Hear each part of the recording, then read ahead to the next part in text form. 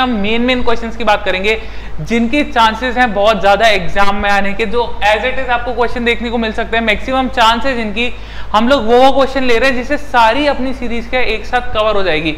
तो बने रहिए मेरे साथ, इस चैनल को सब्सक्राइब करिए। तो हम क्वेश्चन सिर्फ़ मेन मेन क्वेश्चन उठाएँगे, सारे क्वेश्चन नहीं उठाएँगे। लास्ट डे आपको भी प्रिपेयर करना है, ये सीरीज़ देखने के बाद वैसे ही पूरा कोर्स हो जाएगा। तो स्टार्ट कर रहे हैं हमारा क्वेश्चन नंबर वन से डिफाइन मैनेजमेंट कि मैनेजमेंट क्या होता है और डिस्कस इट इंपॉर्टेंस मैनेजमेंट की क्या क्या इंपॉर्टेंस होती है, इसके बारे में हमको बात करनी है. तो मैनेजमेंट का काम क्या होता है? मैनेज करना. कि किस तरीके से कंपनी में लोगों को मैनेज करेगा, ये काम मैनेजमेंट का होता है कि किस तरीके से कंपनी में इतने अलग अलग लोग हैं अलग अलग डाइवर्सिटी से आए हैं अलग अलग सोच से आए हैं. उन सबको मैनेज कैसे करेगा? ये काम होता है मैनेजमेंट का. The term management has been defined differently by eminent authorities on the subject. This is because management deals with people यानी कि मैनेजमेंट क्या है? लोगों के साथ डील करता है। जिनको प्रिडिक्ट करने आसान नहीं है अनप्रिडिक्टेबल होते हैं पीपल आप कैसे बता सकते हो कोई क्या सोच रहा है? सम अथॉरिटीज यानी कि कुछ लोग कहते हैं मैनेजमेंट की अगर हम मेन एक डेफिनेशन की बात करें ना एक लाइन में तो मैनेजमेंट का मतलब होता है मैनेजमेंट एक आर्ट है कि किस तरीके से आप दूसरों से अपना काम करवा लेते हैं। And art of getting things done through others यानी कि कैसे हम दूसरों से हमारा काम करा सकते हैं, यही मैनेजमेंट की एक सिंपल सी डेफिनेशन फिर मैं आपको बता चुका हूँ डेफिनेशन जो है, इनमें से कोई सी भी एक डेफिनेशन आपको एग्ज़ाम में लिखनी है जो आपको याद हो जाए इजीली आंसर सात पेज, छह से सात पेज में आपको आंसर लिखना है, क्योंकि 20 मार्क का एक क्वेश्चन होता है। सात पेज भरने हैं कंपलसरी है। और पॉइंट्स की अगर मैं बात करूँ पॉइंट्स एज इट इज़ जाएँगे, मैंने रेगुलर क्लास में बताया था। फिर से बता रहा हूँ कि पॉइंट्स एज इट इज़ लिखने होंगे। अंदर का मटेरियल अपनी लैंग्वेज में हमको लिखना है सिंपल लैंग्वेज में। अब हम इंपॉर्टेंस की बात करें कि मैनेजमेंट की इंपॉर्टेंस क्या होती है? सिंपल तरीके समझिए फटाफट की मैनेजमेंट की इंपॉर्टेंस क्या है कि मैनेजमेंट को देखना है कि कंपटीशन कुछ भी हो रहा है। यानी कि कंपटीशन अगर ऑर्गेनाइजेशन में हो रहा है तो उसको इफेक्टिवली मैनेज करने का काम किसका है? मैनेजमेंट का। भाई, अगर इतने लोगों को मैनेजमेंट डील कर रहा है, एक साथ इतने लोगों को देख रहा है तो कुछ तो परेशानियाँ आएँगी ना। तो परेशानियाँ की बात कर रहा है। इंपॉर्टेंस वही हो गई कि वो परेशानियों को कैसे सॉल्व करेगा management second maximum utilization of resources of production यानी कि प्रोडक्शन अगर मैनेजमेंट कर रहा है तो उसके लिए जो भी रिसोर्सेज मैनेजमेंट को चाहिए, उसका क्या करेगा? वो मैक्सिमम यानी कि ज़्यादा से ज़्यादा यूटिलाइजेशन करेगा। फिर है टू एस्टेब्लिश इफ़ेक्टिव पॉलिसीज़ यानी कि मैनेजमेंट का काम है कि वो ऐसी पॉलिसीज़ बनाए, जिससे हमारी ऑर्गेनाइजेशन क्या है और अच्छी तरीके से वर्क करे। नेक्स्ट है to establish objectives of the institution यानी कि हमारी कंपनी के जो ऑब्जेक्टिव्स हैं, उनको एस्टैब्लिश करने में हेल्प कौन करता है? मैनेजमेंट हेल्प करता है। नेक्स्ट है अचीव प्री डिटरमाइंड ऑब्जेक्टिव्स यानी कि मैनेजमेंट का काम है कि वो जो प्री डिटरमाइंड ऑब्जेक्टिव्स है ना हमारी ऑर्गेनाइजेशन के, उनको अचीव करने में हेल्प करे। नेक्स्ट है to establish coordination between internal and external environment यानी कि मैनेजमेंट का काम है कि एक्सटर्नली और हमारे इंटरनली जो मैनेजमेंट में लोग हैं, दोनों के बीच में कैसे एक समझौता बनाया जाए अटेंशन कैसे बनाई जाए कि दोनों मिलजुल के काम हो सके। नेक्स्ट है fulfillment of social responsibility management का काम होता है कि कोई भी सोशल रिस्पॉन्सिबिलिटी कंपनी की सोसाइटी के प्रति कंपनी की क्या ज़िम्मेदारी है, वो ज़िम्मेदारी को कंपनी समझे और उसको इफेक्टिवली इंप्लीमेंट करे। नेक्स्ट है better coordination between production and distribution of goods and services management का काम है कि एक अच्छा कोऑर्डिनेशन बना के चले, एक मिलजुल के काम करे, यानी कि जो गुड्स बन रहे हैं और जो हमारा माल बाज़ार में बिकेगा, दोनों के बीच में अच्छा कोऑर्डिनेशन होना चाहिए, जिससे जितना हमारा प्रोडक्शन हो रहा है, उतनी हमारी गुड्स की क्या हो सके सप्लाई हो सके। यानी कि हमारा माल ऐसा नहीं होना चाहिए कि वो स्टोर में ही रखा रह जाए। वो बन रहा है तो तुरंत उसको आगे जाना है, जिससे वो आगे डिस्ट्रीब्यूट हो सके। नेक्स्ट है coordination between new invention and existing methods यानी कि हमको नई इन्वेंशन करते रहनी है नए मेथड्स हमको बनाते रहने हैं जिससे हमारा प्रोडक्शन कैपेसिटी जो है वो और अच्छी हो सके। टेंथ है प्रोवाइड लार्ज एम्प्लॉयमेंट मैनेजमेंट का काम है कि वो ज़्यादा से ज़्यादा क्या है एम्प्लॉयमेंट अपॉर्चुनिटीज़ क्रिएट करे। इलेवेंथ है रेजिस स्टैंडर्ड ऑफ़ लिविंग यानी कि जो हमारी एम्प्लॉयज़ काम कर रहे हैं उनका लिविंग uh, स्टैंडर्ड को अपग्रेड करे उनकी पे अच्छी दे उनको समय समय पे ग्रोथ अपॉर्चुनिटीज़ दे। ट्वेल्थ है रिमूवल ऑफ़ पॉवर्टी मैनेजमेंट तो इंडिया एक ऐसी कंट्री है जहाँ पर क्या पॉवर्टी एक बहुत बड़ी प्रॉब्लम है, क्योंकि लोग पढ़े लिखे नहीं है लिटरेसी रेट बहुत कम है। तो पॉवर्टी की प्रॉब्लम रहती है अनएम्प्लॉयमेंट की प्रॉब्लम रहती है तो उसको रिमूव करने में हेल्प करता है। कैपिटल फॉर्मेशन में हेल्प करता है उसके बाद है prosperity of the nation nation की प्रोस्पैरिटी में बहुत बड़ा रोल प्ले करता है मैनेजमेंट क्योंकि मैनेजमेंट हेल्प करता है ग्रो करने में, कि हमारी ऑर्गेनाइजेशन ग्रो करेगी, तभी तो हमारी कंट्री ग्रो करेगी. Establishment of good labour relation यानी कि मैनेजमेंट क्या है? अच्छे रिलेशन बिल्ड करता है अपनी ऑर्गेनाइजेशन में. हर लेबर हर पर्सन के साथ क्या है? मैनेजमेंट अच्छे रिलेशन बिल्ड करने की कोशिश करता है. तो क्वेश्चन वन समझ में आया कि मैनेजमेंट क्या होता है? मैनेजमेंट क्या करता है? लोगों के साथ। यानी कि जो अलग अलग डिफरेंट टाइप्स के लोग कंपनी में एम्प्लॉयड हैं, उन सबके साथ कनेक्शन बना के रखता है, उन सबसे काम करवाता है। फिर उसकी इंपॉर्टेंस के बारे में बात करेंगे। इंपॉर्टेंस जो हमने पॉइंट्स देखे 15 पॉइंट्स 15 में से आप 14 या 13 भी लिखेंगे तो कोई दिक्कत नहीं है। पॉइंट्स याद करना है, अंदर का मटेरियल अपनी लैंग्वेज में लिखना है। सो नेक्स्ट क्वेश्चन पे चलता है। Management is art science and both क्या मैनेजमेंट आर्ट है, क्या मैनेजमेंट साइंस है, या फिर दोनों है? अब सिंपल सी बात है, देखो मैनेजमेंट जो है, वो आर्ट भी है और साइंस भी है दोनों है, ये अपन को सबको पता है, पहले भी पढ़ चुके हैं।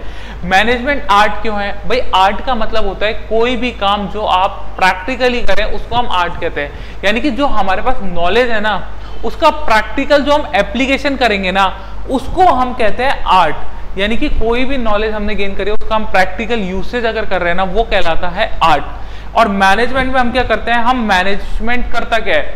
वो जो लर्न करता है, यानी कि मैनेजमेंट जो अपने एक्सपीरियंस से लर्न करता है कि किस तरीके से लोगों के साथ डील करना है, यही तो आर्ट है मैनेजमेंट का। कि मैनेजमेंट को पता है कि लोगों के साथ डील कैसे करना है, उसके पास एक्सपीरियंस है, उसने वो स्किल सेट गेन किया यानी कि अपनी स्किल का जो उसने स्किल गेन करी है, उसका यूज़ करता है बेटर तरीके से गाइड करने के लिए, उसका एप्लीकेशन करने में हेल्प करता है। तो मैनेजमेंट आर्ट है। उसके बाद क्या है? आर्ट का मतलब होता है skilful application of knowledge which entirely depends upon the inherent capacity यानी कि आपकी कैपेसिटी पे डिपेंड करता है कि आपने कितनी नॉलेज गेन करी, उसके बाद आप उसका एप्लीकेशन करेंगे। तो मैनेजमेंट आर्ट तो बन गया। अब सेकेंड बात है, क्या मैनेजमेंट साइंस है?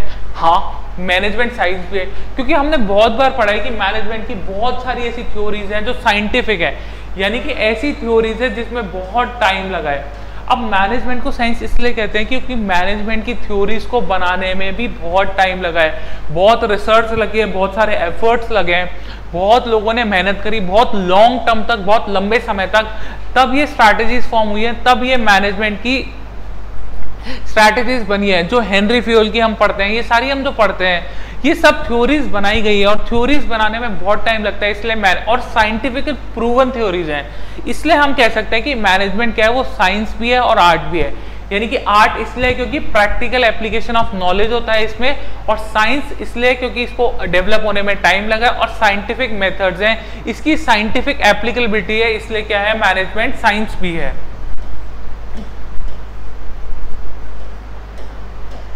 सो नेक्स्ट क्वेश्चन हमारा बात कर रहा है। Management is the development of people and not direction of things critically discuss the statement अब मैनेजमेंट क्या है? डेवलपमेंट ऑफ़ पीपल है। वो डायरेक्शन प्रोवाइड नहीं करता। यानी कि मैनेजमेंट का ये काम है कि हमारी ऑर्गेनाइजेशन में जो लोग काम कर रहे हैं, हम उनको बेटर कैसे बनाएँ? उनको अच्छा कैसे बनाएँ? ना कि हम बस उनको बताएँ कि तुमको क्या काम करना है। भाई, हम मैनेजमेंट का काम होता है कि कैसे वो बेटर करेगी अपनी ऑर्गेनाइजेशन के लोगों को, ना कि उनको गाइड करेगी, जैसे वो कहें, एक टेबल चेयर है। So management is not direction of things management का काम है कि वो रिसोर्सेज का यूटिलाइजेशन कर सके, किस तरीके से हर एक एम्प्लॉय का बेटर यूटिलाइजेशन कर सके। अब सिंपल सी बात है, भाई थ्योरेटिकल इतना याद करना पॉसिबल नहीं तो अपने आप आंसर बनाओ। कि मैनेजमेंट क्या काम करेगा? यार कंपनी में लोगों से काम ही तो करवाएगा। काम करवाएगा तो इस तरीके से करवाएगा कि कंपनी की रिसोर्सेज क्या है, ज़्यादा से ज़्यादा यूटिलाइजेशन हो सके।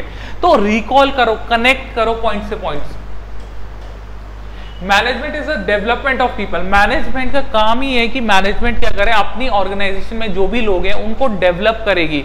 उनकी स्किल सेट बढ़ाएगी, उनको ट्रेन करेगी ट्रेनिंग देगी उनको, जिससे वो और बेटर तरीके से काम करे management gets the things done through people management का काम ही है कि मैनेजमेंट क्या करे? ऑर्गेनाइजेशन में जो भी लोग एम्प्लॉयड है ना, उन लोगों से क्या अपना काम बेटर तरीके से और इफ़ेक्टिव तरीके से कराए। किस तरीके से कराएगी? ये सारा काम ही मैनेजमेंट का है।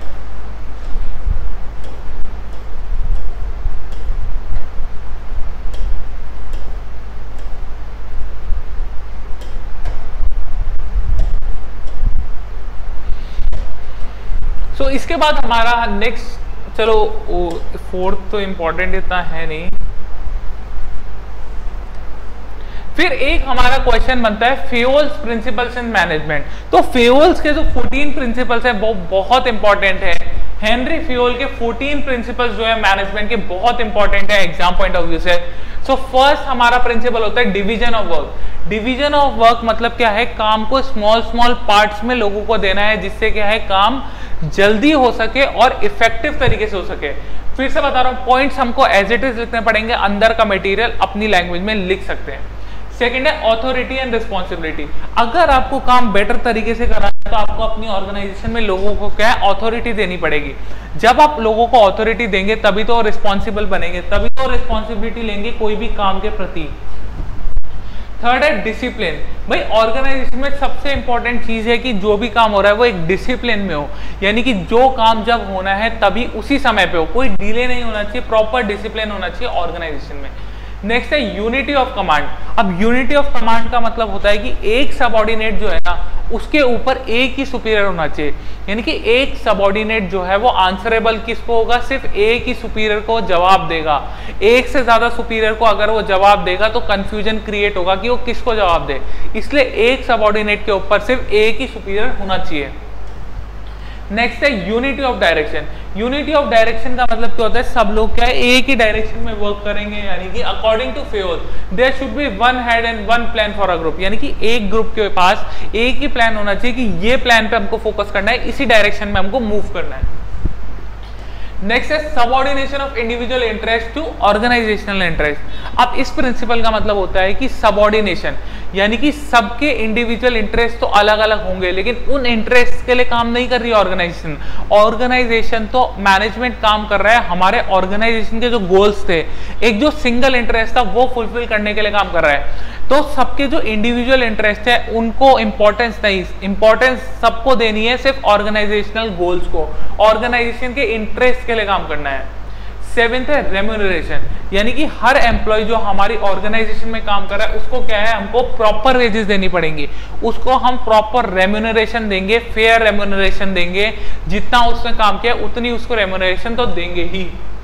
एट है centralisation centralisation refers to the practice of concentration of powers by top authorities यानी कि सेंट्रलाइजेशन वो वाली सिचुएशन होती है जहाँ पर डिसीज़न मेकिंग अथॉरिटी जो है ना, उससे डिसीज़न लेने की सारी पावर्स किसके पास होगी? सिर्फ़ टॉप मैनेजमेंट के पास होगी।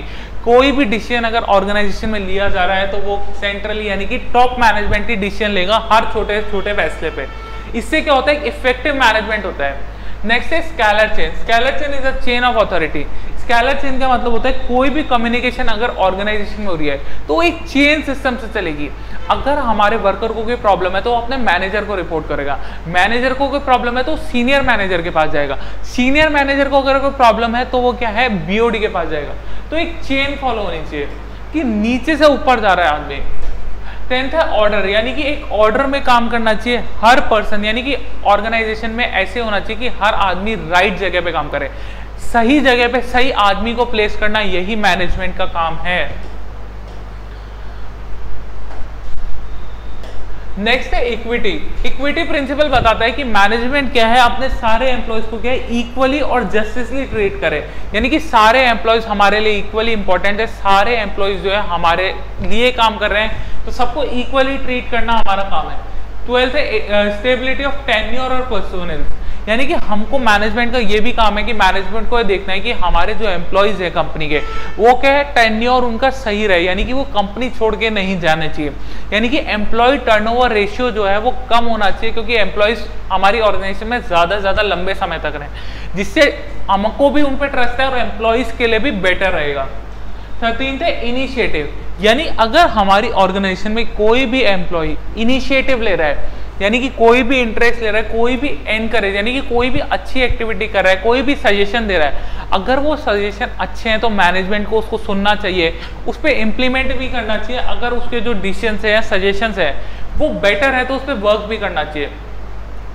नेक्स्ट है प्रिंसिपल एस्पिरेट डी कॉप्स और principle of team work esprit de corps का मतलब होता है कि हमारी ऑर्गेनाइजेशन में जितने भी लोग हैं, सबको मिलकर काम करना चाहिए। सबको कलेक्टिवली कोलैबोरेटिवली वर्क करना चाहिए, जिससे हमारी ऑर्गेनाइजेशन के जो गोल्स है ना, वो फुलफिल हो सके। फिर अदर प्रिंसिपल्स है, हमारे प्रिंसिपल एक्सेप्शन प्रिंसिपल प्लानिंग ये इंपॉर्टेंट नहीं है इंपॉर्टेंट हमारे 14 प्रिंसिपल्स है। एक्सेप्शन प्रिंसिपल्स अगर हमको गिवन है तो आप लिख के आ सकते हैं एग्ज़ाम में। प्रिंसिपल बाय एक्सेप्शन कि एक्सेप्शनल सिचुएशन में ही क्या है, हमको बीओडी के पास जाना चाहिए, कोई प्रॉब्लम अगर आ रही है तो। नेक्स्ट है प्रिंसिपल ऑफ़ प्लानिंग यानी कि कोई भी अगर प्लानिंग ऑर्गेनाइजेशन में हो रही है तो प्रॉपर तरीके से प्लानिंग होनी चाहिए कि कैसे एग्जीक्यूशन होगा। हर काम step by step chain wise चलेगा। नेक्स्ट है प्रिंसिपल ऑफ़ स्टैंडर्डाइजेशन यानी कि हमारी ऑर्गेनाइजेशन में हम क्या करें? स्टैंडर्ड सेट करें कि हमारी ऑर्गेनाइजेशन में हर काम किस तरीके से होगा। प्रॉपर उसके लिए स्टैंडर्ड सेट करने पड़ेंगे। क्योंकि स्टैंडर्डाइज तरीके से अगर काम होता है ना तो काम में गलती होने के जो चांसेस होते हैं ना, वो बिल्कुल नेग्लेक्ट हो जाते हैं। नाइनटीन पॉइंट है प्रिंसिपल ऑफ़ पॉलिसी डिटर्मिनेशन यानी कि हमको पॉलिसी डिटरमाइन करनी पड़ी कि ऐसी पॉलिसीज़ रखनी पड़ेंगी जो हमारे मैनेजमेंट के लिए क्या है बेटर है। नेक्स्ट पॉइंट है प्रिंसिपल ऑफ़ बैलेंस यानी कि हमको क्या करना पड़ेगा, एक बैलेंस मेंटेन करना पड़ेगा कि हमारे मैनेजमेंट के ऊपर ओवर वर्कलोड नहीं आए। नेक्स्ट है twelfth principle of leadership management का एक काम है कि वो अच्छी तरीके से लीड करें अपनी ऑर्गेनाइजेशन में जो लोग एम्प्लॉयड है कि किस तरीके से उनको और बेटर तरीके से उनका यूटिलाइजेशन किया जा सकता है। नेक्स्ट है प्रिंसिपल ऑफ़ सिंप्लीफिकेशन यानी कि जो भी एक्टिविटीज़ बहुत साथ एक साथ कंबाइंड होकर आ रही है, उनको सिंप्लीफाई करना पड़ेगा बेटर तरीके से, जिससे इजीली अंडरस्टैंडेबल हो जाए कि मैनेजमेंट आखिर चाहता क्या है अपने एम्प्लॉयज़ से। तो ये थे हमारे हेनरी फ्यूल के 14 प्रिंसिपल्स उसके बाद और कुछ प्रिंसिपल्स गिवन है, इसमें सात आठ, वो भी हमने देख लिए। तो अब हमने 22 प्रिंसिपल्स पढ़े। भाई 22 में से 22 याद रखना, किसी के लिए पॉसिबल नहीं है, लेकिन 22 में से 18 तो याद रख सकते हैं। अब ये 18 को आप अब सोचिए, एक पेज में अगर आप तीन तीन प्रिंसिपल को भी एक्सप्लेन कर रहे हैं तो 18 पॉइंट है, हमारे पास छह पेज तो वैसे ही भर गए सात पेज ही तो भरने हैं तो कितना ईजी हुआ अगर आप सही से लिखेंगे तो। इसके बाद नेक्स्ट क्वेश्चन हमारा है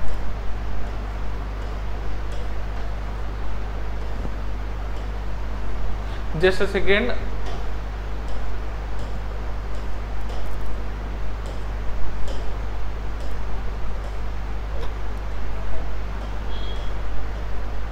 हाँ फिर नेक्स्ट हमारा जो इंपॉर्टेंट क्वेश्चन है एग्ज़ाम पॉइंट ऑफ़ व्यू से इंपॉर्टेंट है, वो है what do you mean by planning describe its nature and importance यानी कि प्लानिंग से हम क्या समझते हैं? प्लानिंग का नेचर क्या है? प्लानिंग की इंपॉर्टेंस क्या है? बहुत इंपॉर्टेंट है। प्लानिंग का मतलब होता है कोई भी चीज़ पहले से सोचना। भाई आंसर बनाने से पहले आप मतलब तो समझिए वर्ड का मतलब क्या है? प्लानिंग का मतलब वो कुछ भी काम अगर आपको करना है पहले प्लान करते हैं ना। कल पेपर है तो हमने प्लानिंग किया ना, हम क्या क्या पढ़ेंगे, किस तरीके से पढ़ेंगे? आज हम पढ़ाई कर रहे हैं, हमारा पेपर दो महीने बाद है तो हम प्लान कर रहे हैं ना, दो महीने में कैसे कैसे पढ़ेंगे? इसका मतलब प्लानिंग का मतलब कोई भी काम करने से पहले हम प्लान करते हैं कि हम किस तरीके से वो काम को कंप्लीट करेंगे। तो planning is deciding in advance planning का मतलब होता है कि आप पहले एडवांस में ही डिसाइड करेंगे कि आप काम किस तरीके से आपको करना है। इज़ एन इंटेलेक्चुअल प्रोसेस यानी कि थिंकिंग बिफोर डूइंग कोई भी काम करने से पहले आप उस काम के बारे में सोचेंगे कि वो काम मैं किस तरीके से प्रॉपरली क्या है कंप्लीट करूँगा। वही डेफिनेशन के लिए कोई सी भी एक डेफिनेशन जो आपको इजी रहे। अब नेचर की बात करते हैं कि प्लानिंग का नेचर क्या होता है। सो so, प्लानिंग जो है हमारी प्राइमरी फ़ंक्शन है मैनेजमेंट का हमारे। प्राइमरी फ़ंक्शन ऑफ़ मैनेजमेंट यानी कि मैनेजमेंट सबसे पहले क्या करती है? प्लान करती है कि वो काम किस तरीके से करेगी। तो सबसे फ़र्स्ट फ़ंक्शन मैनेजमेंट का होता है प्लान करना कि क्या क्या काम मैनेजमेंट को करना है। लोग अगर हायर करने हैं एम्प्लॉयज़ तो मैनेजमेंट कितने लोगों को हायर करेगी? कोई काम अगर होना है, कोई वर्क होना है तो रिसोर्सेज कहाँ से लाएँगे? कहाँ से हम लोग माल खरीदेंगे? कहाँ पर बेचेंगे? सब कुछ प्लान करना पड़ता है। सेकेंड है एन इंटेलेक्चुअल प्रोसेस यानी कि प्लानिंग जो है एक इंटेलेक्चुअल प्रोसेस है। यहाँ पर आपको डिसाइड करना पड़ता है, आपको एक्शंस डिसाइड करने पड़ते हैं कि कैसे कैसे एक्शंस होंगे। तो एक इंटेलेक्चुअल प्रोसेस होता है। थर्ड है process of looking forward planning क्या है? एक ऐसा फ़ंक्शन है जिसमें आप क्या है? आगे की तरफ़ देखते हैं लुकिंग फॉरवर्ड फ़ंक्शन है। आप आगे की तरफ़ सोच के प्लानिंग करते हैं कि हमको आगे क्या करना है। तो फॉरवर्ड लुकिंग फ़ंक्शन होता है प्लानिंग हमेशा। नेक्स्ट है कंटिन्यूस एंड डायनामिक प्रोसेस यानी कि हमारा जो प्लानिंग है वो एक कंटिन्यूस फ़ंक्शन है। कंटिन्यूस इसलिए क्योंकि प्लानिंग ऐसा थोड़ा है कि आप एक बार करके रख लेते हो। भाई प्लानिंग तो कंटिन्यूसली चलती है। कभी सेल्स की प्लानिंग चल रही है, कभी बजट की प्लानिंग चल रही है। तो प्लानिंग जो है वो कंटिन्यूसली चलती जाती है हमारी। और ये एक डायनामिक फ़ंक्शन है क्योंकि हम ऐसे एनवायरमेंट में काम कर रहे हैं जहाँ पर कभी भी कुछ भी हो सकता है। इसलिए प्लानिंग क्या है? एक डायनामिक फ़ंक्शन होता है। नेक्स्ट है pervasive function planning has been described as the most basic of managerial function ये परवेसिव इसलिए होता है, हर टाइप के ऑर्गेनाइजेशन में सिमिलर तरीके से ही वर्क करेगा। सब ऑर्गेनाइजेशन में सबसे पहले फ़ंक्शन तो प्लानिंग ही होगा ना। ऐसा तोड़ना है कि आप दूसरी ऑर्गेनाइजेशन में जाएँगे तो प्लानिंग बदल जाएगी। भाई प्लानिंग तो करनी ही पड़ेगी ना। नेक्स्ट है इंटरडिपेंडेंट एक्टिविटी यानी कि प्लानिंग जो है वो इंटरडिपेंडेंट एक्टिविटी है। जितनी भी सारी एक्टिविटीज़ हमारी ऑर्गेनाइजेशन में है, उनके साथ लिंक करती है। यानी कि इंटरडिपेंडेंट एक्टिविटी है, सारी एक्टिविटीज़ के हमारी एक दूसरे से डिपेंडेंट है।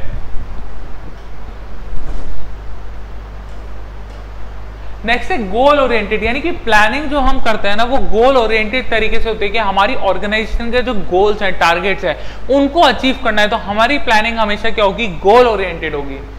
नेक्स्ट है डायनामिक हमारी प्लानिंग हम क्या डायनामिक करते हैं, क्योंकि हमको पता है फ्यूचर कंडीशन कभी भी सेम नहीं रहती। फ्यूचर कंडीशन बदलती रहेंगी तो उस हिसाब से हम क्या करते हैं? डायनामिकली क्या है? प्लान करते हैं चीज़ों को। नेक्स्ट है यूनिफॉर्मिटी यानी कि प्लानिंग जो है वो यूनिफॉर्म तरीके से होती है. Uniformity is an important characteristics of planning more than one plan is executed at one time में लीड टू कंफ्यूजन यानी कि हम जब प्लानिंग करते हैं तो प्लानिंग एक ही तरीके से होती है. आप अलग अलग तरीके से प्लानिंग करेंगे तो डिफिकल्टी नहीं हो जाएगी. तो कंफ्यूजन क्रिएट नहीं करना हमको सिंगल स्ट्रेट फॉरवर्ड एक प्लान चलेगा. नेक्स्ट है decision making is essential part planning में सबसे इंपॉर्टेंट है डिसीज़न मेकिंग आपको डिसीज़न लेना पड़ता है कि नेक्स्ट काम क्या करूँगा, मैं उसके बाद क्या करूँगा। तो प्लानिंग मस्त है कि आप सबसे पहले डिसाइडेड रहे कि आपको क्या क्या डिसीज़न लेने हैं। डिसीज़न लेने पड़ते हैं आपको प्लानिंग के वक्त। नेक्स्ट है forecasting is the essence of planning यानी कि फोरकास्टिंग करनी पड़ती है। फोरकास्टिंग एक सबसे ज़रूरी चीज़ है प्लानिंग के लिए। क्योंकि प्लान आप फ्यूचर के लिए कर रहे हो, आपको फ्यूचर पता तो है, ऐसा ही होगा। आप फोरकास्ट करते हो, आप अंदाज़ा लगाते हो कि पहले क्या हुआ था। उसके बेसिस पे आप अंदाज़ा लगाते हैं कि पिछले साल मेरी सेल जो थी वो 120 की थी। 120 मैंने साइकिल बेची थी। तो अगर मैं साइकिल बेच रहा हूँ तो अगले साल मेरी सेल क्या होगी? मैं अंदाज़ा लगा सकता हूँ 130 से 35 हो सकती है। पिछले साल जो मैंने बेची, उससे तो ज़्यादा ही बेचूँगा ना दस पाँच। तो इस तरीके से प्लानिंग क्या डिपेंड करती है? फोरकास्टिंग डिपेंड करती है। Planning is directing towards efficiency and accuracy यानी कि प्लानिंग क्या करती है? आपको डायरेक्ट करती है कि किस तरीके से आप एफिशिएंसी अपनी क्रिएट करेंगे। एफिशिएंट आपको इसलिए बनाती है प्लानिंग अगर आप कोई काम प्लान करके कर रहे हैं तो आप गलतियाँ नहीं करेंगे ना। आप अगर गलतियाँ ही नहीं करेंगे तो आप अच्छी तरीके से वर्क करेंगे ना तो आपकी एफिशिएंसी बढ़ेगी। तो अगर आप चीज़ें पहले से ही प्लान कर लेंगे तो गलती करने के आपके चांसेस रिड्यूस हो जाएँगे। इससे आपकी क्या है? एफिशिएंसी क्या है? बेटर होगी। अब इंपॉर्टेंस की बात करते हैं कि प्लानिंग की इंपॉर्टेंस क्या होती है।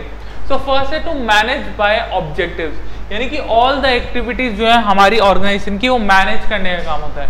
To offset the growing complexity of business यानी कि हमारी बिज़नेस की जो कॉम्प्लेक्सिटीज बढ़ती जा रही है ना, उन कॉम्प्लेक्सिटीज को कम करने के लिए एफिशिएंसी हमारी ऑर्गेनाइजेशन बढ़ाने के लिए हम क्या करते हैं?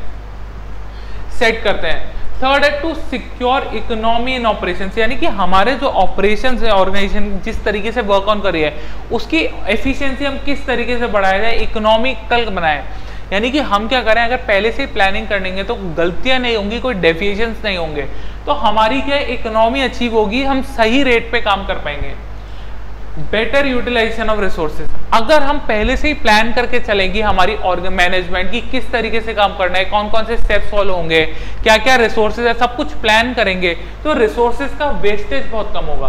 तो अगर वेस्टेज कम होगा तो आ, हमारी रिसोर्सेज का हम क्या कर रहे हैं बेटर यूटिलाइजेशन कर रहे हैं।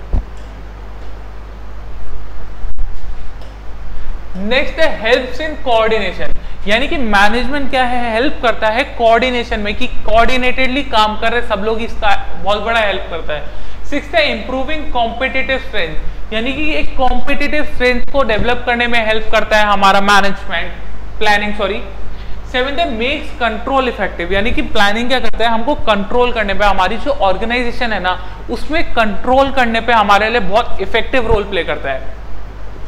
नेक्स्ट है इम्प्रूवमेंट ऑफ़ मोरल यानी कि हमारे जो एम्प्लॉयज़ है, उनका मोराल बूस्टअप करने में हेल्प करते हैं, क्योंकि उनको पहले ही पता होगा क्या काम करना है। तो उनका मोराल बिल्ड होगा ना, उनको पता है एक्यूरेसी से वर्क करना है। इंक्रीज ऑर्गेनाइजेशनल एफिशिएंसी इफेक्टिवनेस क्योंकि सबको पता है किस डायरेक्शन में वर्क करना है, सब एम्प्लॉयज़ को पता है ये डायरेक्शन में वर्क करना है तो उनकी एफिशिएंसी भी इंक्रीज होगी। प्रिवेंट हैस्टी डिसीज़न यानी कि जल्दबाजी में कोई डिसीज़न लिया जाएगा, ऐसी सिचुएशन ही नहीं आएगी, क्योंकि हमने प्लानिंग पहले से ही कर रखी है। तो हमको एंड टाइम पे कोई डिसीज़न लेने की ज़रूरत ही नहीं है। इलेवेंथ है stimulates innovative and creative thoughts अच्छा प्लानिंग सिस्टम वही है जो इनोवेटिव आइडियाज़ अगर कोई सजेस्ट कर रहा है तो उसको भी इंप्लीमेंट करे जो हमारी ऑर्गेनाइजेशन के लिए क्या है बेटर होंगे, बहुत बढ़िया होंगे।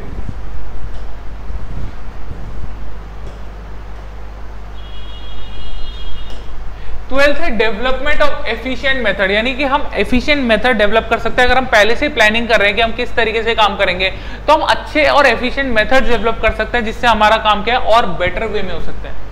थर्टीन है डेलीगेशन ऑफ़ अथॉरिटी फैसिलिटेटेड यानी कि आप क्या करेंगे अथॉरिटी डेलीगेट करने के लिए भी प्लानिंग कर लेंगे कि कितनी अथॉरिटी मेरे को डेलीगेट करनी है, कितना काम मुझे अपने पास रखना है।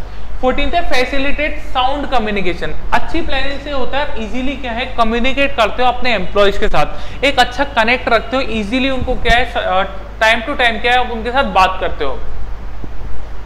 अब कंपोनेंट्स की बात करें कि प्लानिंग के इंपॉर्टेंट कंपोनेंट्स क्या है। फ़र्स्ट है ऑब्जेक्टिव यानी कि हमको हमारी ऑर्गेनाइजेशन का ऑब्जेक्टिव समझने पड़ेंगे प्लानिंग करते वक्त। स्ट्रैटेजीज बनानी पड़ेंगी कि हमारी लॉन्ग टर्म स्ट्रैटेजीज क्या होगी, हमारी ऑर्गेनाइजेशन की, और शॉर्ट टर्म स्ट्रैटेजीज क्या होगी। फिर है पॉलिसीज़ हमको पॉलिसीज़ बनानी पड़ेंगी, ऐसी पॉलिसीज़ जो हमारी ऑर्गेनाइजेशन के लिए बेटर रहेंगी बेस्ट रहेंगी। फिर हमको प्रोसीजर सेट करने पड़ेंगे कि हमारी ऑर्गेनाइजेशन में एक्टिविटीज़ है, वो किस तरीके से कैरी ऑन होंगी। नेक्स्ट है मेथड्स यानी कि कौन कौन से हमको प्रिस्क्राइब मेथड यूज़ करने पड़ेंगे हमारी ऑर्गेनाइजेशन में कोई काम करने के लिए। सिक्स है रूल्स यानी कि प्रॉपर रूल्स होने चाहिए जिनको हमारी ऑर्गेनाइजेशन फॉलो करेगी, अगर कोई भी वर्क वो कैरी ऑन कर रही है तो। स्टैंडर्ड्स एक स्टैंडर्ड सेट होने चाहिए, एक लेवल ऑफ़ स्टैंडर्ड्स होने चाहिए हर ऑर्गेनाइजेशन में जिस स्टैंडर्ड्स को वो ऑर्गेनाइजेशन फॉलो करेगी। क्योंकि स्टैंडर्ड्स क्या होता है? एक सेट ऑफ़ बार होता है, जिस बार के हिसाब से आपको पता है कि इतना अच्छा काम तो मुझे करना ही है। एट्थ है प्रोग्राम्स यानी कि सीक्वेंस ऑफ़ स्टेप किस सीक्वेंस में हमारी ऑर्गेनाइजेशन में काम होगा। नाइन्थ है schedule schedule is a plan which indicate the time of commencement of task यानी कि स्केड्यूल ये बताता है कि किस समय पे कौन सा काम होगा हमारी ऑर्गेनाइजेशन के अंदर. बजट प्लानिंग से हमको है, हम क्या करते हैं? प्लानिंग करते हैं तो हम बजट बनाते हैं हमारी ऑर्गेनाइजेशन की किस तरीके से हमारी ऑर्गेनाइजेशन में वर्किंग होगी. प्रोजेक्ट टैक्टिक्स एक ये क्वेश्चन भी इंपॉर्टेंट प्लानिंग की लिमिटेशन चलो वो प्लानिंग का वो तो हो गया एक important question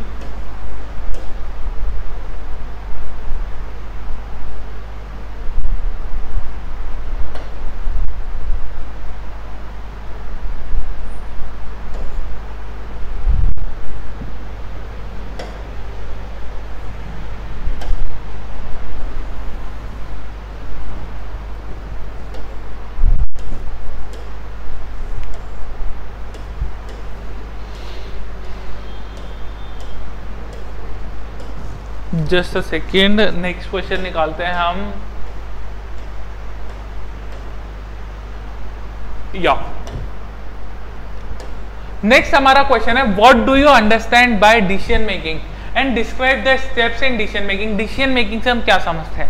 कोई भी डिसीज़न लेना, यही तो डिसीज़न मेकिंग है। Decision making is the process of selecting यानी कि जहाँ पर हमारे पास ऑप्शन अवेलेबल होते हैं ना, कि आप ऑप्शन ए या ऑप्शन बी सेलेक्ट करो। उन दोनों में से आप कोई ऑप्शन सेलेक्ट करो यानी कि आप डिसीज़न मेक कर रहे हो। जहाँ पर आपके पास दो फैक्टर्स हो जाएँगे ए और बी में सेलेक्ट करना है तो दोनों में से आप वही तो फैक्टर सेलेक्ट करोगे, जो आपके लिए बेस्ट हो, आपके ऑर्गेनाइजेशन के लिए बेस्ट हो। तो यही होता है डिसीज़न मेकिंग कि दो ऑप्शन में से आप बेटर ऑप्शन सेलेक्ट करो। डेफिनेशन बता चुका, अब कैरेक्टरिस्टिक्स की बात करेंगे। A decision involves rationally because through decision and endeavour is made to reach the assumed goal कोई भी डिसीज़न आप लेते हो तो आप हमेशा ये सोचते हो कि कितना ये मेरे को हेल्प करेगा, मेरी गोल्स हमारी ऑर्गेनाइजेशन के जो गोल्स है, उनको अचीव करने में कितना हेल्प करेगा। कलेक्टिव और रेलिवेंट इंफॉर्मेशन यानी कि हम क्या करते हैं, फिर कलेक्ट करते हैं जो भी रेलिवेंट इंफॉर्मेशन है, हमारे डिसीज़न मेकिंग के लिए इंपॉर्टेंट है। हम सारी इंफॉर्मेशन कलेक्ट करेंगे, जिसके बेसिस पे हम क्या है, फैसला ले सकते हैं। कि ये सही है या गलत है। एनालिसिस ऑफ़ द प्रॉब्लम यानी कि हम एनालिसिस करेंगे कि जो प्रॉब्लम हमारे सामने है, वो कितनी सही है, कितने हमारे पास ऑप्शन अवेलेबल हैं, क्या प्रॉब्लम की एक्चुअल सिचुएशन है। इसके अलावा हम क्या करेंगे? फैक्ट्स देखेंगे इंटरफेरेंस देखेंगे, हम स्पेक्यूलेट करते हैं। अब प्रॉब्लम में हम क्या फैक्ट्स देखते हैं? कई बार हम देखते हैं कि जो इन्फॉर्मेशन अवेलेबल है, वो सही है या नहीं है। फिर हम देखते हैं इंटरफेरेंस यानी कि हम सिचुएशन को सरकमस्टांस एविडेंस देखते हैं। कई बार क्या होता है, कोई सिचुएशन बेस्ड आपको क्या है एविडेंस मिल जाते हैं।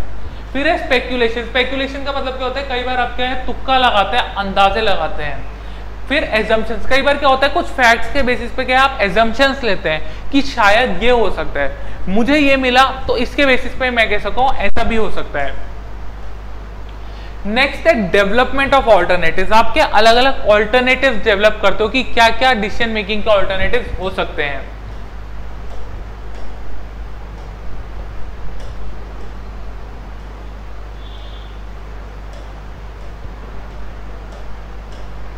क्या क्या ऑल्टरनेटिव हमारे हो सकते हैं। उसके बाद हम करते हैं evaluation and selection of best alternative फिर हम क्या करते हैं इवेल्युएट करते हैं सारे ऑल्टरनेटिव को और उसमें से जो बेस्ट ऑल्टरनेटिव होता है ना, उस बेस्ट ऑल्टरनेटिव को हम क्या करते हैं सेलेक्ट करते हैं। सेलेक्ट करने के लिए हम क्या करते हैं फिजिबिलिटी स्टडी चेक करते हैं। फिजिबिलिटी मतलब कि प्रैक्टिकल कंडीशंस देखते हैं कि क्या ये ऑप्शन हमारा फीजिबली पॉसिबल है हमारी ऑर्गेनाइजेशन के लिए। नेक्स्ट है क्वालिटी हम क्या करते हैं, हमारा जो ऑल्टरनेटिव हम चूज़ कर रहे हैं, उसकी क्वालिटी चेक करते हैं। कि क्या वो सही रहेगा हमारी ऑर्गेनाइजेशन के लिए।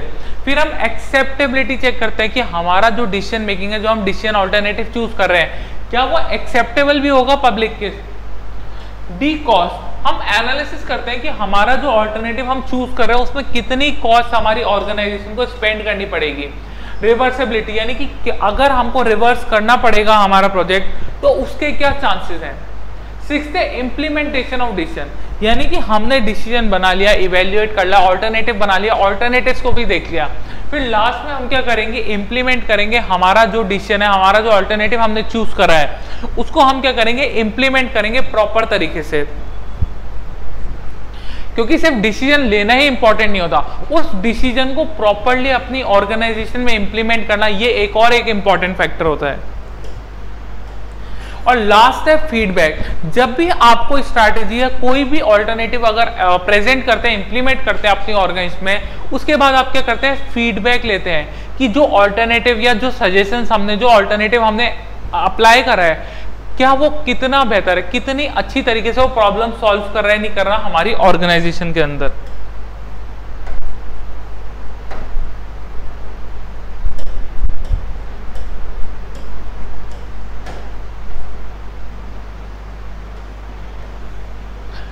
नेक्स्ट क्वेश्चन है define organisation structure explain the importance of good organisation structure यानी कि ऑर्गेनाइजेशन स्ट्रक्चर क्या होता है और अच्छा ऑर्गेनाइजेशन स्ट्रक्चर की क्या इंपॉर्टेंस होती है।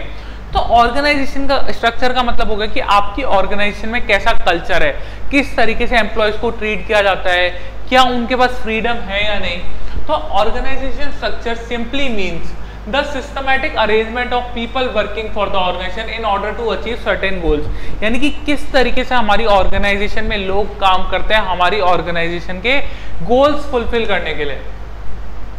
It is framework of authority relationship among individuals यानी कि इंडिविजुअल्स में किस तरीके से एक ऑथोरिटी बनी हुई है? फिर हम कैरेक्टरिस्टिक्स की बात करें कि क्या कैरेक्टरिस्टिक्स होती है ऑर्गेनाइजेशन कल्चर की। ऑर्गेनाइजेशन स्ट्रक्चर क्या होता है? अरेंजमेंट होता है कि किस तरीके से हमारी ऑर्गेनाइजेशन में डिफरेंट पीपल्स वर्क करेंगे। ये एस्टेब्लिश करता है कि पर्सन यानी कि दो लोगों के पोजीशन के बीच में क्या रिलेशनशिप होगी। अप्रोप्रिएट फ्रेमवर्क बताता है कि अप्रोप्रिएट ऑथोरिटी ऑन रिस्पॉन्सिबिलिटी कैसे होगी एम्प्लॉयज़ के बीच। ऑर्गेनाइजेशन स्ट्रक्चर है डिस्प्लेड ऑन अ चार्ट यानी कि ऑर्गेनाइजेशन में हम जाएँगे कभी कॉर्पोरेट्स में तो वहाँ ऑर्गेनाइजेशन स्ट्रक्चर होता है कि हैरारकी बनी होती है कि कौन से कौन से लेवल पे कौन कौन हायर्ड है। ऑर्गेनाइजेशन का स्ट्रक्चर जो है वो फॉर्मल भी हो सकता है इनफॉर्मल भी हो सकता है डिपेंड करता है ये ऑर्गेनाइजेशन के ऊपर। अब हम इंपॉर्टेंस की बात करेंगे कि अच्छे ऑर्गेनाइजेशन स्ट्रक्चर की क्या इंपॉर्टेंस होती है। सो फैसिलिटेटिंग मैनेजमेंट एक्शन यानी कि अच्छा मैनेजमेंट कंट्रोल करने में हेल्प करता है हमारा गुड ऑर्गेनाइजेशन स्ट्रक्चर नेक्स्ट है एनकरेज एफिशिएंसी यानी कि अच्छी एफिशिएंसी को एनकरेज करता है हमारा गुड अगर ऑर्गेनाइजेशन स्ट्रक्चर होगा तो हमारे एम्प्लॉयज़ भी क्या है, वो एफिशिएंटली वर्क करेंगे, अच्छी तरीके से वर्क करेंगे। इफ़ेक्टिव कम्युनिकेशन अच्छा ऑर्गेनाइजेशन स्ट्रक्चर होगा तो हमारे एम्प्लॉयज़ भी क्या इजीली कम्युनिकेट कर पाएँगे अपनी प्रॉब्लम्स को अगर कोई प्रॉब्लम्स को फेस कर रहे हैं। कोई अगर उन्हें नया आइडिया है तो आइडिया भी तो डिस्कस कर सकते हैं। तो अच्छी ऑर्गेनाइजेशन स्ट्रक्चर होगा तो हमारा इफ़ेक्टिव कम्युनिकेशन होगा। फोर्थ है ऑप्टिमम यूटिलाइजेशन ऑफ़ रिसोर्सेज यानी कि अगर हमारी ऑर्गेनाइजेशन का स्ट्रक्चर अच्छा है तो यूटिलाइजेशन अगर स्ट्रक्चर ही अच्छा है, सब काम सही तरीके से होता है, सब प्लानिंग की जा रही है तो हमारी क्या रिसोर्सेज का यूटिलाइजेशन भी हमारी ऑर्गेनाइजेशन में बहुत अच्छा होगा वेस्टेज कम से कम होगी। नेक्स्ट है स्टिमुलेट्स क्रिएटिव थिंकिंग यानी कि स्टिमुलेट्स अच्छी, लोग हमारी ऑर्गेनाइजेशन में अगर कोई क्रिएटिव थिंकिंग कर रहा है तो उसकी क्रिएटिव आइडियाज़ को भी क्या वैल्यू किया जाएगा। सिक्स है जॉब सेटिस्फेक्शन अच्छी ऑर्गेनाइजेशन में अक्सर क्या होता है, लोगों को क्या जॉब सेटिस्फेक्शन रहता है कि उनकी जॉब क्या है सेफ़ है सिक्योर है, यानी कि कल को कोई प्रॉब्लम आई तो ऐसा नहीं है कि हमारी ऑर्गेनाइजेशन हमको निकाल देगी। उनको एक सिक्योरिटी रहती है सेंस ऑफ़ बिलोंगिंगनेस रहता है कंपनी के साथ।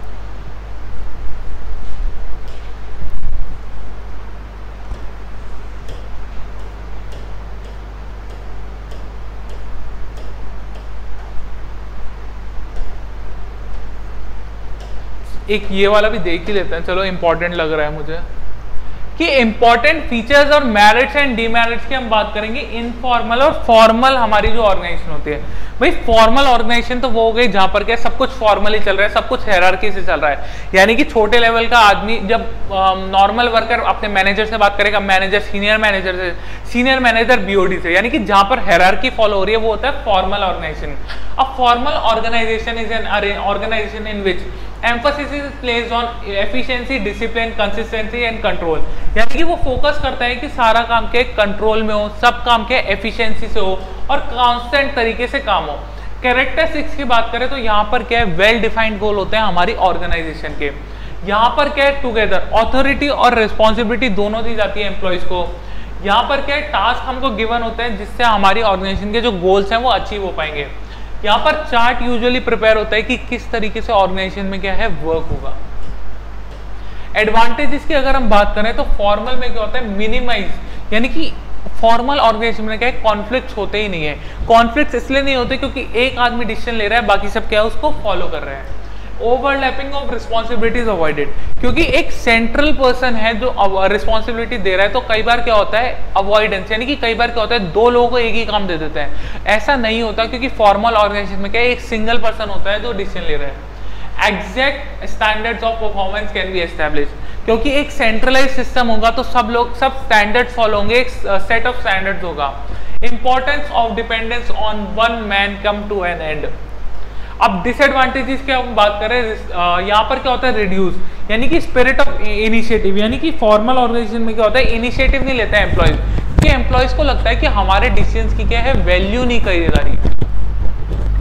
Next authority sometimes over exercise regardless of the need यानी कि कई बार क्या अथॉरिटी का क्या बहुत ज़्यादा यूसेज करा जाता है फॉर्मल ऑर्गेनाइजेशन में. Sometimes and values of person are not taken into consideration यानी कि जो पर्सनल सेंटीमेंट्स होते हैं ना वो नहीं यूज़ में लिए जाते फॉर्मल में कोई मतलब नहीं होता आप क्या कर रहे हैं it may be impeded to informal organisation next है हमारी informal organisation The term informal organization refers to those personal and social relations which arise when people associate with one another. यानी कि informal organization जब बनते हैं जब आप informal relations क्या है build करते हैं अपनी organization में लोगों के साथ कैरेक्टरिस्टिक्स की अगर हम बात करें informal में इस form simultaneous not with expletive यानी कि जब हम इनफॉर्मल ऑर्गेनाइजेशन बनाते हैं तो हमारा मोटिव बनाना नहीं होता इनफॉर्मल ऑर्गेनाइजेशन वो बन जाती है automatically it is a social structure यानी कि सोशल स्ट्रक्चर होता है जिससे आपका स्ट्रक्चर बनाया जाता है आप लोगों से मिले. The power structure in informal organisation is very complex यानी कि कॉम्प्लेक्स uh, होगा आपको पता नहीं आप डायरेक्टली किससे बात कर इनफॉर्मल में. It act as agency of social control it has own rule यानी कि इनफॉर्मल ऑर्गेनाइजेशन के क्या है रूल्स एंड रेगुलेशन अपने ही होते हैं। कोई set of rules and regulation fix नहीं होता। एडवांटेज की बात करें तो ड्रॉबैक्स जो है फॉर्मल ऑर्गेनाइजेशन की, वो सब इसमें नहीं होता। यहाँ पर क्या चैनल यानी कि कम्युनिकेशन का जो चैनल है, वो प्रॉपर एस्टेब्लिश होता है। इट एंश्योर्स गुड रिलेशनशिप यानी कि इससे क्या होता है, अच्छी एक रिलेशनशिप बिल्ड होती है एम्प्लॉयज़ की। यहाँ पर क्या मोटिवेशन मिलती है एम्प्लॉयज़ को? क्योंकि वो सबके साथ मिलजुल के काम करते हैं। इनफॉर्मल ऑर्गेनाइजेशन में कई बार क्या होता है डिसएडवांटेज की बात करें तो जनरली अकॉर्डिंग टू यानी कि मॉब यानी कि जैसे ग्रुप सोच रहा है, वैसे ही आपको सोचना पड़ेगा। It tends to nullify the efforts of management to promote greater productivity इसमें क्या होता है प्रोडक्टिविटी भी आपकी रिड्यूस होती है, क्योंकि सब लोग क्या है, अपनी मर्ज़ी से काम करने पर ज़्यादा फोकस करते हैं।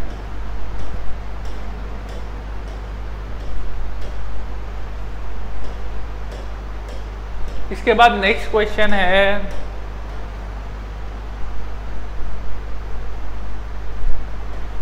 डेलीगेशन ऑफ़ अथॉरिटी डेलीगेशन भी एक इंपॉर्टेंट पॉइंट है तो डेलीगेशन का क्वेश्चन ले लेते हैं। चलो डेलीगेशन का क्वेश्चन इंपॉर्टेंट है।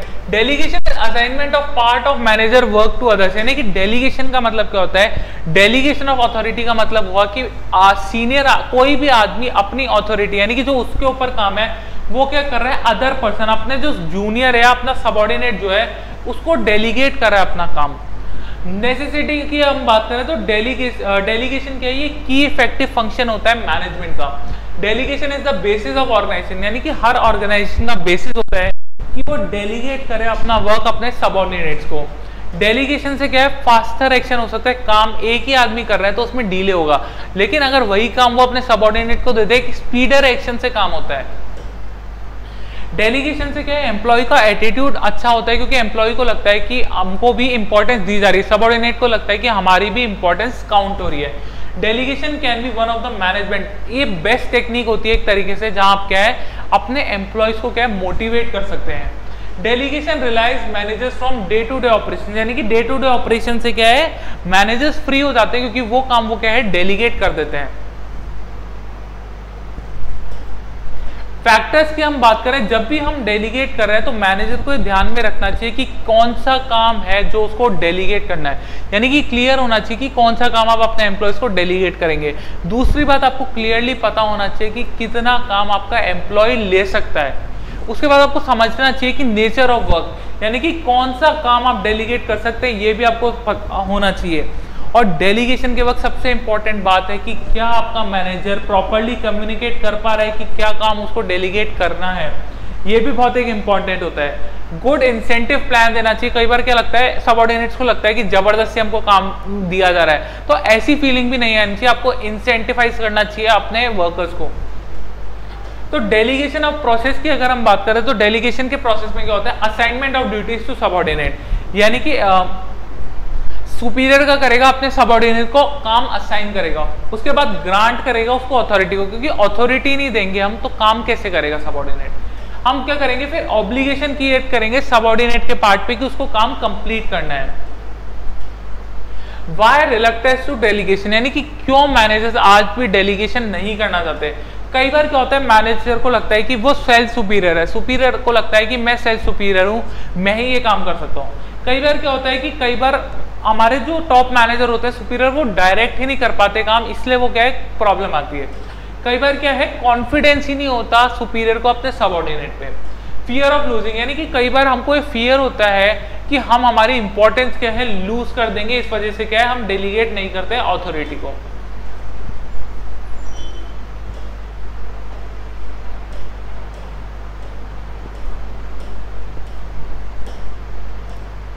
इसके बाद हम लेंगे next question important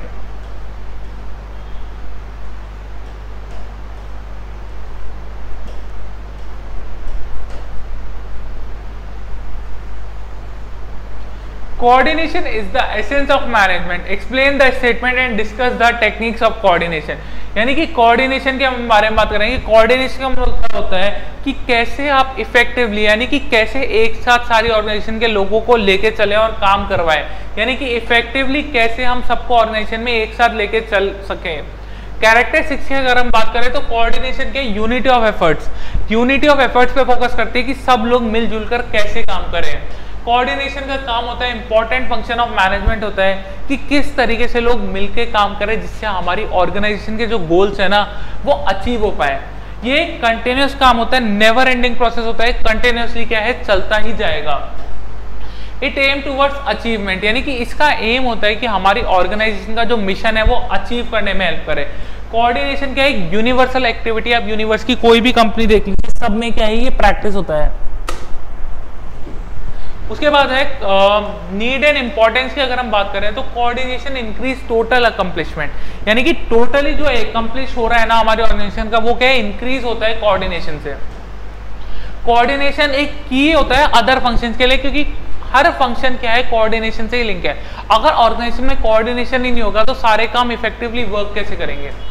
coordination harmonise conflict यानी कि कोऑर्डिनेशन अगर ऑर्गेनाइजेशन में होगा तो हमारी ऑर्गेनाइजेशन में कॉन्फ्लिक्ट होने के चांसेस भी क्या है? कम हो जाते हैं रिड्यूस हो जाते हैं।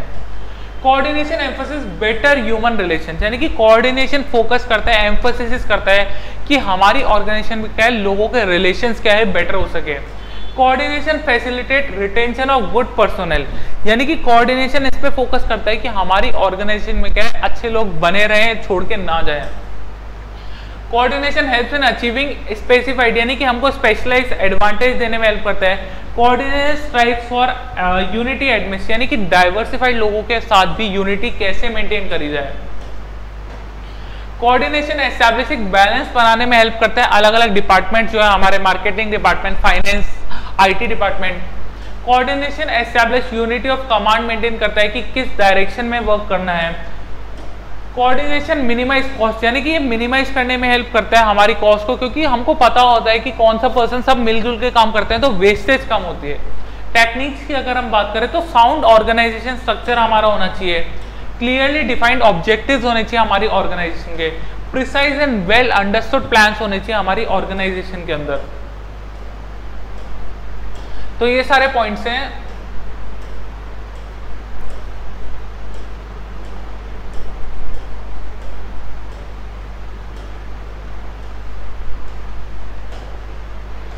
नेक्स्ट क्वेश्चन है define leadership discuss the leadership function तो लीडरशिप एक इंपॉर्टेंट है. लीडरशिप का एक ये होता है लीडरशिप का मतलब हो गया कि आप किस तरीके से अपने वर्कर्स को गाइड करेंगे. Leadership is the process in which person attempt to influence यानी कि एक पर्सन क्या है अटेम्प्ट करता है कि वो इन्फ्लुएंस करे अनदर यानी कि अनदर दूसरे को इन्फ्लुएंस करने में हेल्प करता है.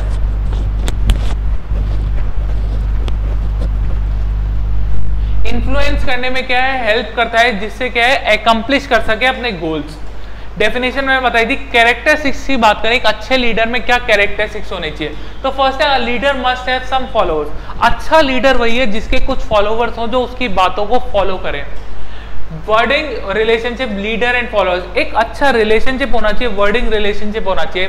Setting of an ideal example before others अच्छा लीडर वही है जो एग्ज़ाम्पल सेट करे अपने वर्कर्स के लिए, अपने फॉलोअर्स के लिए. A community of interest between the leader and followers leaders और फॉलोअर्स के बीच एक कम्युनिटी होनी चाहिए इंटरेस्ट की. जहाँ पर दोनों एग्री करें, दोनों को इंटरेस्ट के हैं मैच हो. उसके बाद हम लीडरशिप के अगर फ़ंक्शंस की बात करें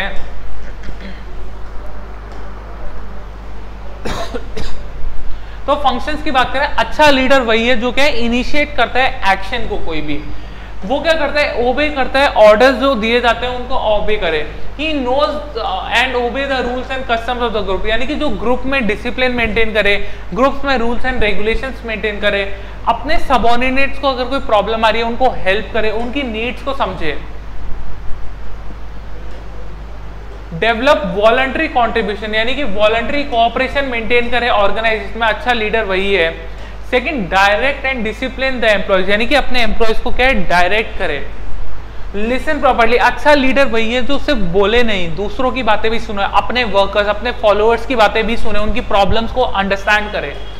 कम्युनिकेट इफेक्टिवली अच्छा लीडर वही है जो अच्छी तरीके से कम्युनिकेट करे अपने एम्प्लॉयज़ को। अब हम लीडरशिप स्टाइल्स की बात करें कि कौन कौन सी लीडरशिप स्टाइल्स होती है तो तीन टाइप की मेजरली लीडरशिप स्टाइल्स होती है।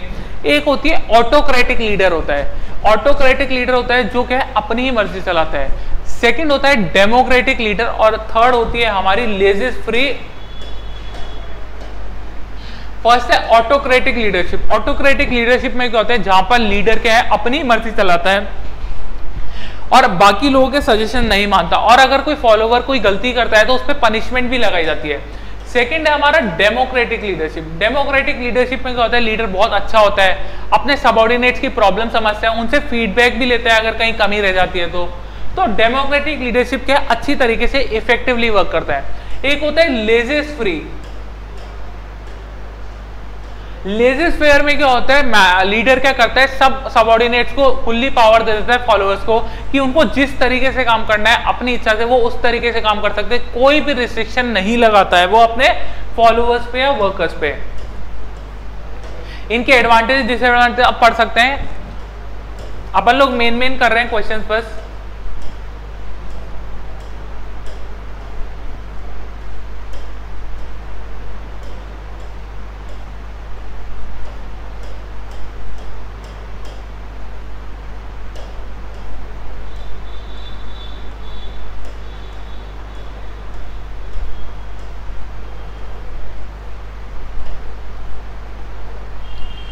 So define motivation discuss the methods and techniques of motivation motivation क्या होती है और मोटिवेशन की टेक्निक्स क्या क्या होती हैं? तो मोटिवेशन का मतलब होता है कि कैसे आप मोटिव करेंगे, यानी कि मोटिवेट करेंगे अपनी ऑर्गेनाइजेशन में अपने एम्प्लॉयज़ को कि वो किस तरीके से और एफिशिएंटली और बेटर तरीके से काम करें। तो एसेंशियल्स क्या है? अच्छे मोटिवेशन सिस्टम का इकोनॉमी यानी कि अच्छा मोटिवेशन सिस्टम क्या है? इफ़ेक्टिव तरीके से इकोनॉमिकल पड़ेगा अच्छी ऑर्गेनाइजेशन को। डायनामिक सिस्टम यानी कि मैप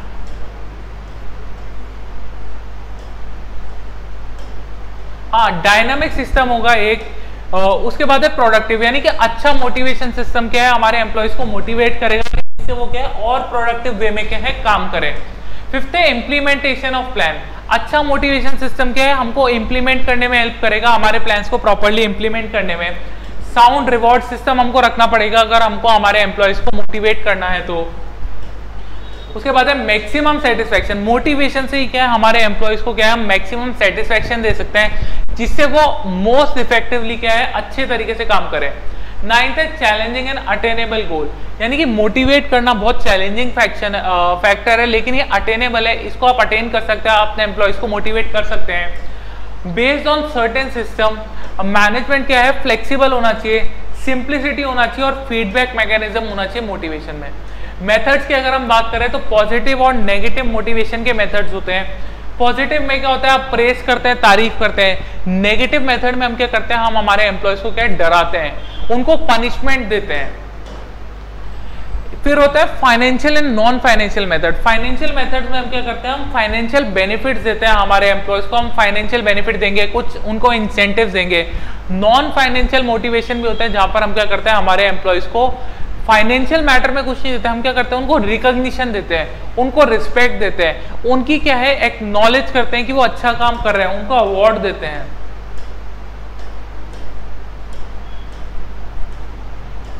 फिर है इंट्रेंसिंग एंड एक्सट्रेंसिंग इंट्रेंसिंग में मतलब क्या होता है? Occur at the time of performance के वक्त।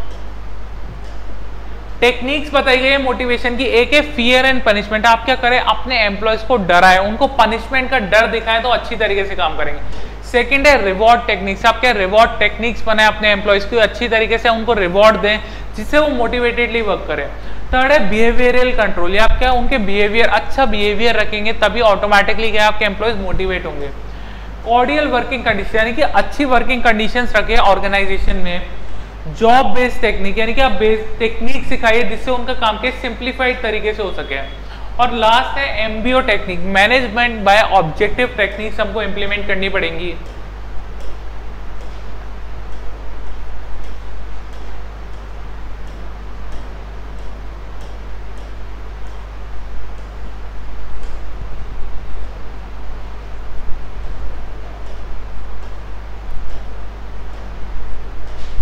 तो ये मेन मेन क्वेश्चन सारे हो गए ज़्यादा लंबी क्लास होनी नहीं चाहिए, मेरे को भी ऐसा लगता है, क्योंकि पढ़ना है अपन को।